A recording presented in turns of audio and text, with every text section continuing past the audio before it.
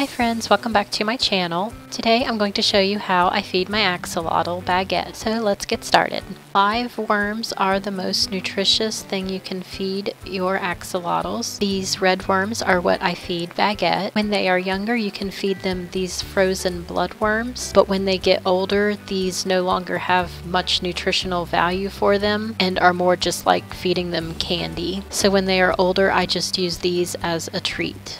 They do make axolotl pellets. If you have an axolotl that absolutely cannot stand the taste of worms, but they do get better nutrition from the live worms. Axolotls do have teeth, but they are barely visible. They mostly eat through suction. So I just use my tongs here and feed him his worms. Some people feed by hand, but I don't really want to get bitten, so I have always just used the tongs. So I give him a little bit of time before feeding the second worm. Sometimes if he's looking a little big in the stomach or he hasn't went to the bathroom, I will only feed him one worm a day. This feeding was from a different day. They live in very cold water, so they have very slow metabolisms so it's very easy to overfeed them.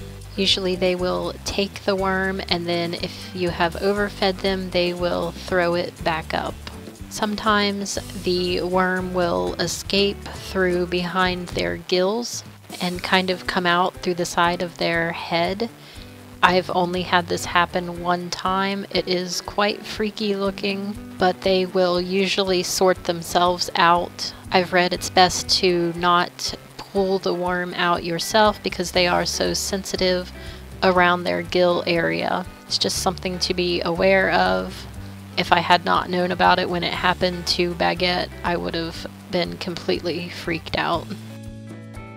So as you are determining how much to feed them, you can always tell whether they are overweight or underweight by looking at them from the top. The widest spot of their head should line up with the widest spot of their body. If it is smaller, you will want to increase your feedings. And if they're looking a little plump, you can decrease your feedings or start feeding every other day if you enjoyed today's video, don't forget to like and subscribe to my channel. And thanks for watching.